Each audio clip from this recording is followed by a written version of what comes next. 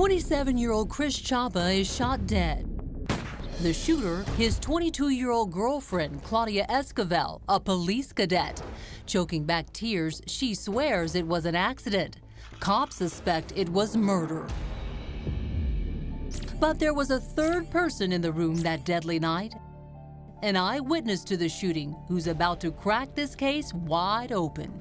We know that from the interview with her son that he did witness this. That's right. Claudia has a son, a four year old little boy who was in the apartment during the time of the shooting. And sadly, he had a front row seat to the horrific violence. Not only did he see what happened, uh, he was in the range of fire. The trajectory of the round actually traveled over where her son was laying on the couch, the blanket that he was covering up with while he was asleep prior to him being awoken by the arguing. Uh, the blanket actually had blood spatter on it. Very close proximity. Very. And police investigators believe this little boy holds the answers to exactly what happened that terrible night. The first thing that we tried to do was get a statement from him and find out how much he had seen, how much he had witnessed, and we learned that he had witnessed everything. Everything? Do you come sit right here? The four year old's interview with a child forensic interviewer. My name is Cheryl McCarthy. I work here at the Advocacy Center for Children. My job is to talk to boys and girls just like you. All right. You said that your your mom was crying? Yeah, her the fighting. The fight home. The fight. Okay. Boy's dead. The boy is dead. Tell me who shot Chris. Mommy shot him. Mommy shot him. Okay. Mommy's hands are dirty and stinky. They're dirty and stinky? Yeah. Tell me why they were dirty and stinky. They need to wash your hands. Oh, okay. Tell me what she had on her hands. Bleed. Uh, bleed?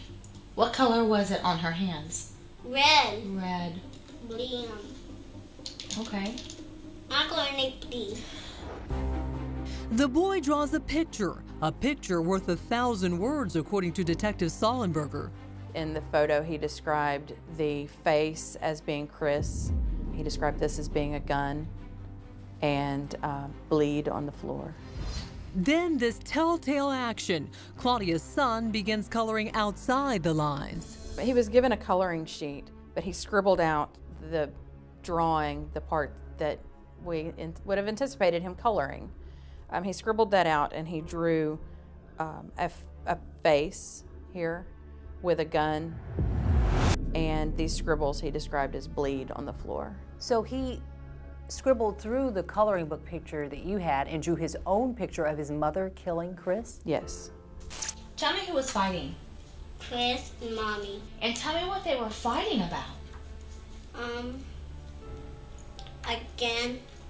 They were fighting again? Okay. Did you see that happen? I saw. Chris is dead. He breathed. Oh, okay. And Chris needed a fix.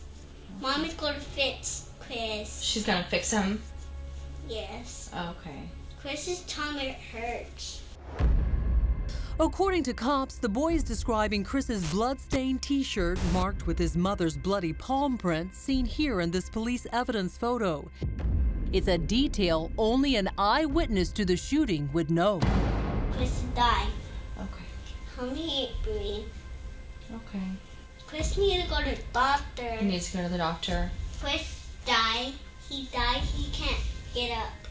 I'm finished. I don't want the color. Okay. The interview is over, but tragically, the trauma will last a lifetime. The words of Claudia's own son point to his mom as the killer. Claudia faces five years to life in prison for felony murder. Following closing arguments, jurors took just over six hours to return with a verdict. She was convicted uh, sentenced to 27 years in uh, the prison system. And up for parole in 13 and a half years, but not if Chris's family can help it. For every day that she tries to convince someone that it wasn't her fault, even though she had the training and knowledge of how to deal with a handgun. My family will be there to tell her no. And we will be there every step of the way to say, You will not get out of jail. But no matter how much time is served, the punishment is endless for both families. It's such a tragedy. You hate to see young people who really had potential. They were just starting uh, their careers and possibly a family and things of that nature to go down this path. And I think if she just hadn't picked up the gun, it wouldn't have happened.